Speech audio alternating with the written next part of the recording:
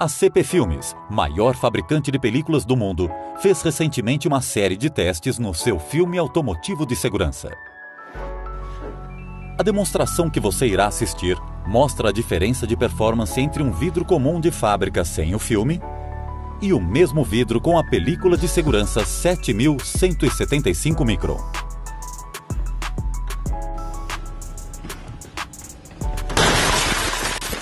Como apresentado aqui, leva menos de 4 segundos para se quebrar o vidro, roubar os bens e escapar.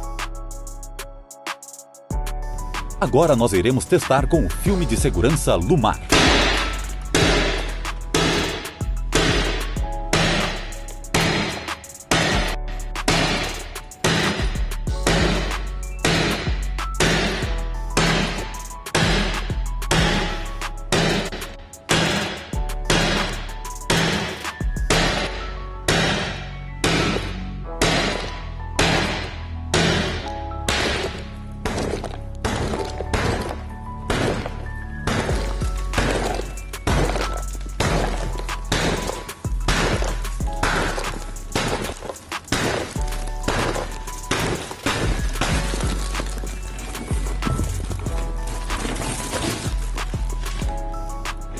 Levou cerca de 44 segundos para acessar o interior com o filme de segurança Lumar aplicado no vidro.